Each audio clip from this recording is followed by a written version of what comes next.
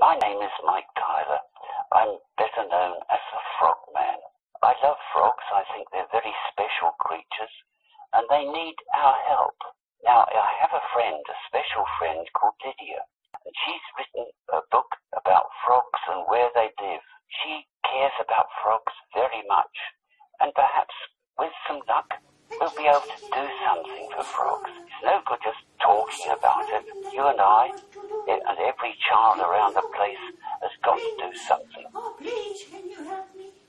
I don't know what to do anymore. It's very scary in here. It's very, very dark. Oh, I'm so sad. I'm so lonely.